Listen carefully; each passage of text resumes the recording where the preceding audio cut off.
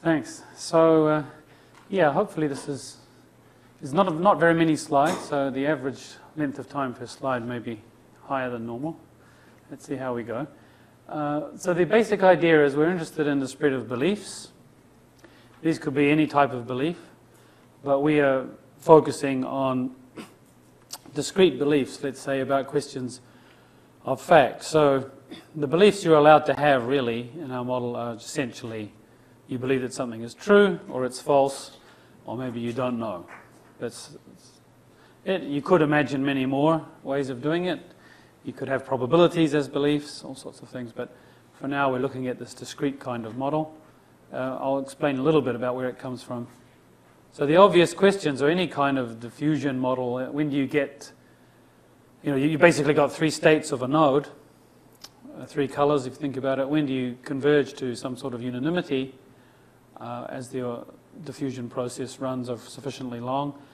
And in a, in a question like this, um, it's not enough to be unanimous. Ideally, you would in fact unanimously have the correct answer, or at least a strong majority of people would, would be getting the correct answer. And then a more general question is um, which models are going to explain the data. There's a huge number of models in the general area, and uh, still an interesting question to me as to how you can differentiate between them based on experimental data. We've only started a little bit here, so I'll give you an idea what we've done. Um, where it came from is that uh, the topic of belief revision is very, very well known. Uh, in philosophy, logic, computer science, people using databases and artificial intelligence, it's important to know what do you do when you have a consistent worldview and an extra piece of information comes in, some proposition, and makes the entire set of propositions you had inconsistent. And you then have to revise that in some way by throwing out something.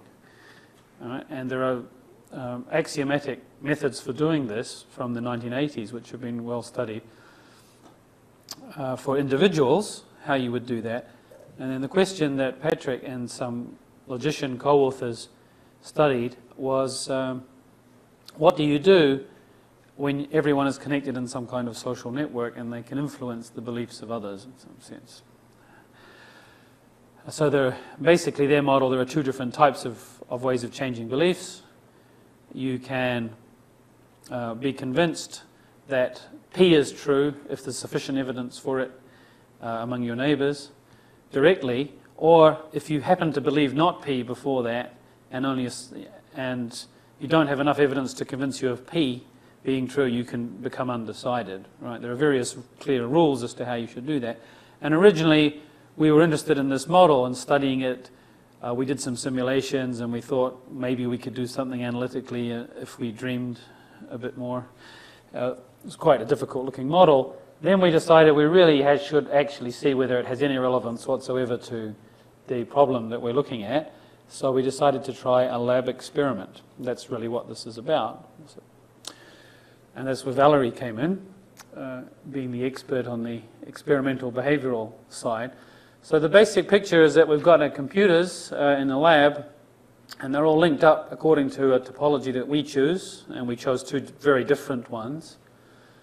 Uh, one was a complete graph, right, and one was a directed thing with very different uh, node degrees, in degrees and out degrees. And of course, the subjects, the participants, don't know what network they're connected to. They just know that they have some neighbors somewhere in the room, but they don't know which is which. Right?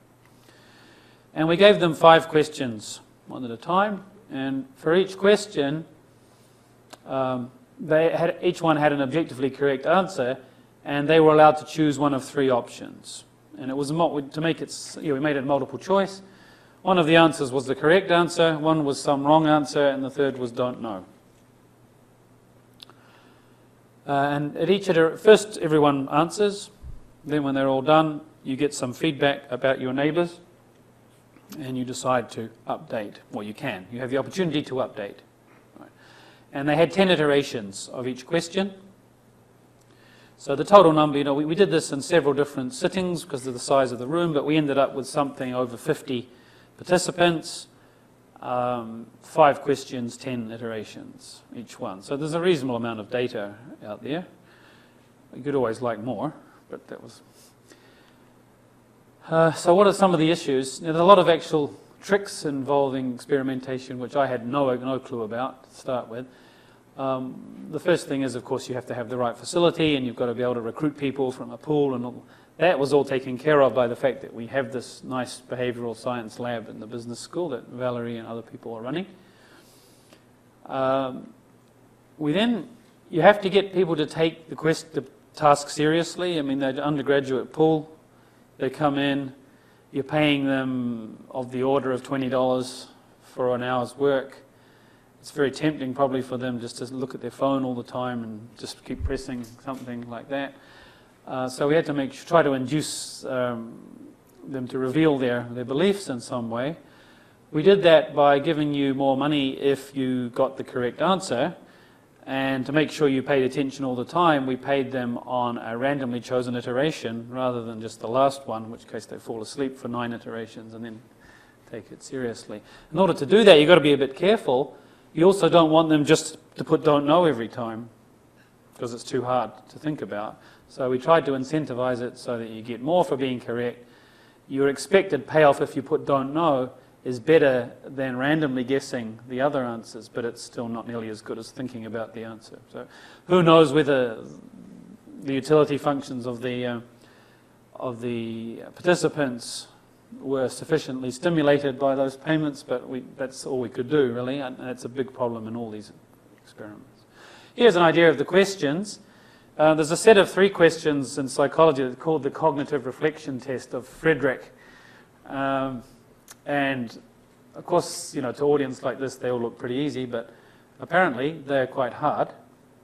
Uh, so uh, that was the first one. Five machines, five minutes, five widgets. How long does it take 100 machines to make 100 widgets? And we just said, is it more or less than 50? That was what you had to choose. Right. Uh, this is a slightly more complicated one to state. It's not that hard. If I'd had a picture, it would have been easier. You have uh, four cards. This is a very old one. It's been used in like hundreds of papers because it's considered to be very difficult something like a quarter of the population can get this right given a reasonable length of time to think about. It's because conditional, conditional uh, you know, logic of implication seems to be difficult for a lot of people. So you've got four cards, you have a logical proposition that you claimed you have to test whether it's true or false, and uh, which cards do you need to turn over. Okay. So those are the two of the questions. Those are what we call, I suppose, the analytical questions. Uh, we also had three factual questions. One of them was uh, this one, sort of supposed to be aimed to some extent at the target audience a little bit. Um, here's uh, one of these urban myth type of things, which we thought we'd put in there. People might have heard of it. And uh, this one, of course, was designed to be impossible to do. Right? So we tried to induce people without telling them directly to think a bit about what other people might know. At least that was our, our idea, was hopefully that subjects would think about the, the beliefs of others and realize that in this case it would be ridiculous for anyone to even make a guess. For this last one, because it was so ridiculous, we gave the answer privately to a couple of people, and we told all the rest of them that we have given it, we have given it to them privately. Right? So um, we expect probably some different uh, behaviour on these different questions. So just as a note, this Wason test turned out um, to be difficult. So even though they are all uh, passed university entrance somehow, they still found it difficult. Um, they had something like two minutes to answer the first time, and then they had 30 seconds each iteration to update. Which, now that we've seen, a f- well, not many other papers in the area, but it actually seems reasonably generous, that amount of time. But uh, more than, oh, you'll see the graphs in a minute. But anyway, it was consistent with the psychology literature that it was a hard one. We thought this fast and furious question, most likely you either know it or you don't, and you would know that you didn't know it and you would guess very strongly that other people in the room, since they all look a bit like you, some of them would know it. That was our, our belief, but we, we weren't sure. And we made this impossible question, right, as we said.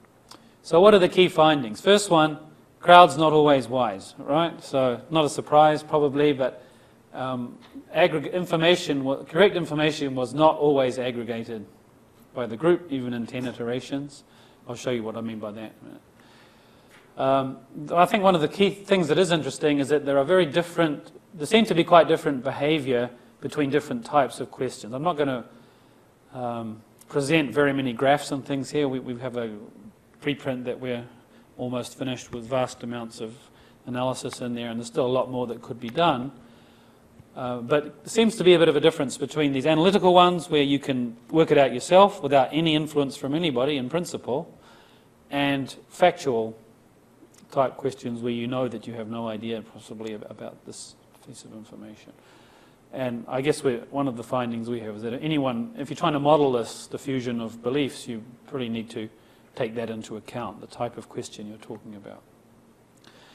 There's a clear asymmetry between don't know and the other answers. Now, one speculation we have is that if you forced people to choose one or the other and didn't allow the don't know, you would get probably worse results in terms of aggregation of the right result. Uh, but we haven't yet done that control experiment, so we need a bit more money before we can do that one. Uh, but even so, in, in the complete model we have where we're forcing people to choose between three and we're allowing them the don't know, there's a clear asymmetry between them. It's not that hard to, to guess why that is, but I'll show you that in a minute. And we found that there seem to be three groups of subjects. I don't think we expected this. So there is, we looked at all the times where people changed their belief, their uh, answer, and there seem to be uh, people who require almost no influence from anyone in order to change. Some who essentially never change until everyone is against them, right? And those that seem to adopt this majority dynamics. And it's, it's kind of a clear, distinct groups of, of subjects there. And of course, in any social science experiment, we found that rationality was violated, right? If you think about that last question, you know that some people have been given the answer, and you're pretty sure that everyone else, everyone else knows they haven't been given the answer, plus it's essentially impossible to guess. They should all write put don't know until they get the signal from one of their neighbors of the correct answer, and they should just copy that. But of course they didn't. Some people put the wrong answer down right, right from the start. So you get some sort of behavior like that. Here, here's the correctness. So this is, gives you an idea of um, what we mean. The second question, so that the, the rows are the um, particular four different time experiments we had on different days. And these are the questions, the five questions. And you can see this Wason test, um, it was below 50%, or no more than 50% on the first iteration. And here it went, it was worse at the end than it was at the beginning, so that's, you know, clearly not very wise, the crowd there.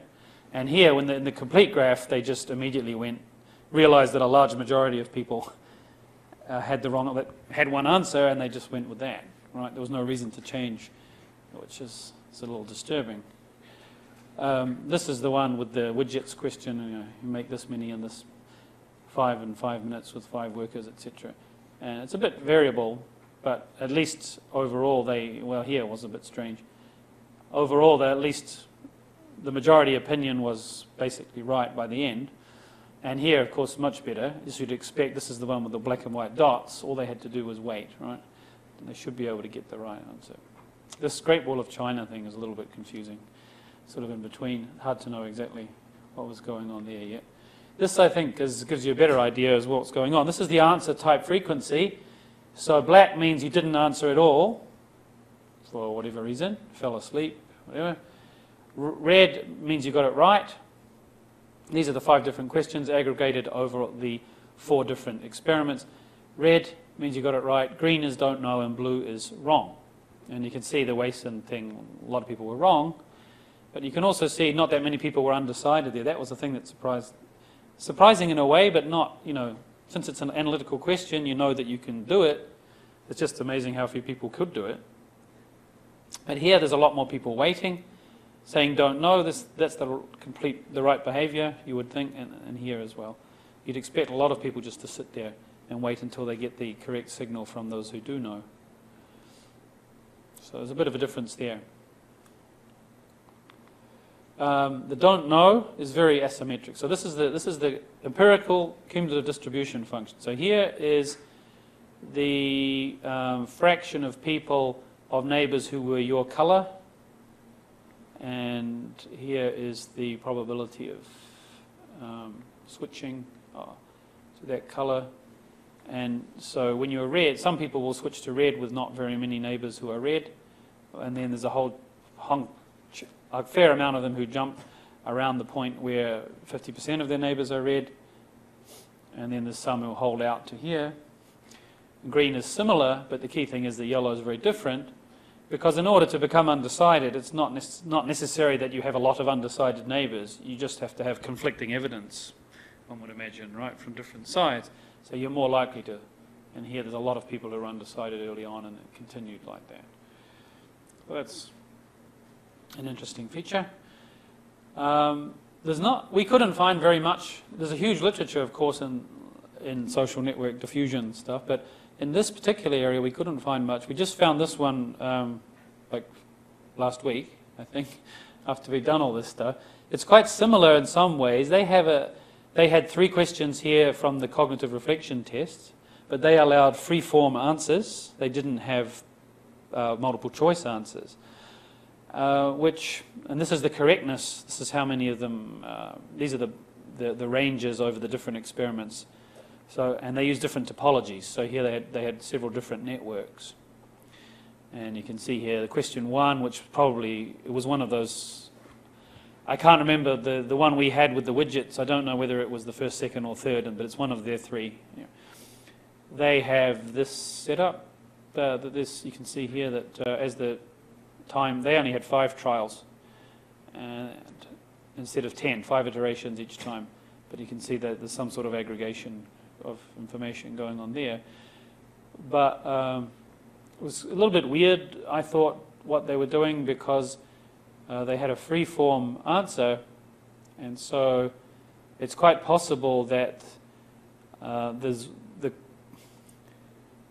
It's quite possible that most people were wrong, but they all had different wrong answers, and so the correct answer was the plurality winner. it's the most likely one, and so that would get people copying it, possibly. Uh, just almost out by luck. I'm not quite sure. So there's a few things to look at there, but that, that is actually the most similar thing to uh, our work that we've seen. Future work. Um, let me just go to just mention a couple of things. We haven't investigated yet anything to do with the subjects, the particular people. Each of them we can go through and see that some of them will have changed more often than others. We can try to uh, in terms of these basic threshold models where you switch your based on uh, if, if, you get more than say 60% of people uh, saying green, then you turn green, right? And that 60% number is a property of you, and possibly of the type of question that you have. We could do that kind of, uh, we could get bounds from the observed data. We might be able to do some kind of statistical analysis. I think there's not enough data to really get into it in as much detail as we would like. And any model, in fact, you'd try and fit, there's always going to be an issue there. However, we did find that, as far as we can work out, our results are not inconsistent with the original model that we started with, and therefore, at least it's worth, um, worth studying that. So we, we reassured ourselves a bit on that.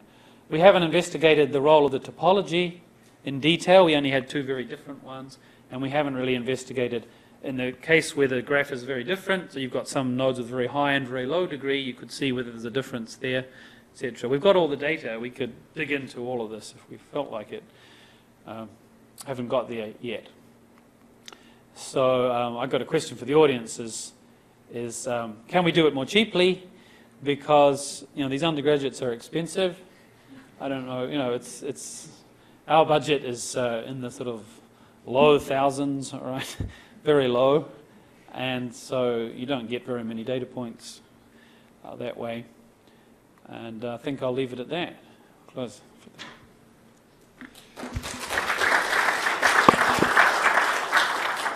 Now, any questions of anything detailed, you ask, uh, direct them to Valerie. He's everyone's summary. He's not here today. Uh, oh, he's, he's not here. Questions from Mark for Valerie.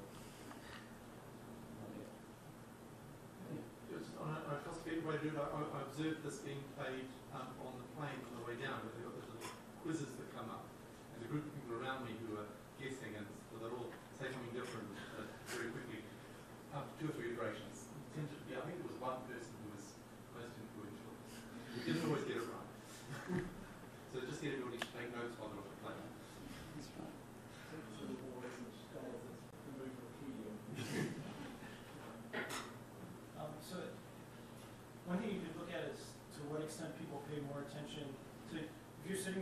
periods, there might be some people who are switching back and forth. I see my neighbors switch, Hmm. and no, then I shouldn't really trust them. I, I realize that they don't, they don't really know the answer, right? So Mhm. I, maybe I pay more attention. If I'm sitting there and some, several of my neighbors are blinking on, on and off, and the other ones are, are just staying at the same answer, then maybe I trust the ones. Yeah, we didn't, we didn't tell them um, which neighbour was doing what. We just said you have seven neighbours, three of them said this, four, two of them said that, and two of them were undecided. And we didn't tell, they can't see the series of, of Then it starts to get really, I mean, interesting, but yeah. Then you could start thinking about letting them choose their own network, who they follow, and stuff like that. But no, here we forced them to. They, so they didn't know anything other than they're in a room with a whole lot of people that look like them and they're connected to some of them. Presumably, they could have worked out um, in the complete graph when it said, you know, you have 29 neighbours, they probably could work out that that's the whole room. Apart from that, Have you observed something like strategic behavior trying to fool others? strategic behaviour. I'm, I'm, I'm giving wrong answer, but then the last moment I switch to the correct one, Um, hoping that others will think that I am. We haven't looked for it. I don't think we would li- be likely to find it because, I mean, you have to have very strange. You don't know who the people are that you are, um, you know, uh, annoying by doing that, and you're them, you're going to potentially lose money because you're getting paid for random iterations. You don't know whether that's the one. So, I mean, we, I, I I find it hard to believe there would be a big problem, but I suppose we could look for it. Right? Just, sorry, as as a very simple check on that, you could look at the people who were told what the correct number of white Yeah. dots and black dots was and see whether Make they sure that they the did it. That would be a good start. Sure, you them what it is. Yeah, so that, that can be done, yeah, we can check all of that. Um, Yeah, just, just want to, just going back to this, uh, one thing I forgot to say here, one of the, fi- their, their big picture finding here was that, uh, the group gets smarter, but the individuals don't get any smarter. Because they're, not surprising, because they only gave them fifteen seconds for each iteration, and the whole experiment was an hour, but the two competing theories is that one is that by getting feedback uh, from your neighbours saying your answer might be wrong, it stimulates you to think better, and the other one is that it just stimulates you to copy them. And their finding was that they're pretty sure that it's, it's mostly due to copying, which is not surprising, and you don't really have enough time to, to, to think about it again. Um, so that's good though, because then it doesn't really matter what order you ask the questions in, it seems. So there, there's always potentially problematic issues like that seem to go away. Um, at least we're fairly happy that they're not a major problem. In this case, where they had the free form answers, were the, were their neighbours given the answers, or were, were they just given the same statistics that you were? Because if you're given an answer, you can check it, right? It's, Yeah. I have to check. I mean, like all of these papers, there's like a seven-page glitzy thing and thirty-page appendix, and you, you dive you dive into that, and you click on their spreadsheet, and you see that. Yeah, the, actually, the data they make available, there's some missing data that they really should have kept. If you want to reproduce the experiment properly, they didn't put that in there. But uh, overall, it's not bad. But yeah, I, I can't remember whether they did that. I suspect they just said. Uh, I think, they, they showed all the answers. they, they would have to show the answers, otherwise it would be hard to herd on to something. Yeah, but you, they only gave them much less time than we did. I mean, 15 seconds is quite hard to check uh, on some of those problems, right? But you're, you're right, yeah. With extra information. Yeah. there's a lot more information getting fed back in that group, yeah. So, so the six, um, you can imagine if you, if you felt market, if you were risk neutral, and you Yeah. think you're more likely to be right than wrong, Yeah, then six isn't really enough to No. push you towards no answer, right? So you might want, it might be interesting to see whether, whether you get a lot more undecideds if you push Yeah. to seven or eight. I mean, there's just so many knobs you can twiddle on this machine, right? So we could do the whole thing again with totally different topologies, or as you say, change that. I mean, you could. It would be really nice if you could get each subject and have the work out somehow the utility, or at least know by some pre-test, and pay them in such a way to incentivize them to to do that. But yeah, that would be interesting. Of course, if you put it too high, then Yeah, no one's going to bother answering. Um, Yeah, very hard to work out where to put that number. Do you think by giving them money bill right in the middle, give them an incentive to try something they were not sure of, a bit too early before actually having the real information? Yeah, well, it's not clear where, whether it was in the middle, it's just at a randomly chosen iteration. So the idea was we wanted them to say, for all you know, this is the last iteration that counts. So make it count and do whatever you think is going to give you the best payoff. That's what we're hoping they would do. I mean, who knows how many people do that?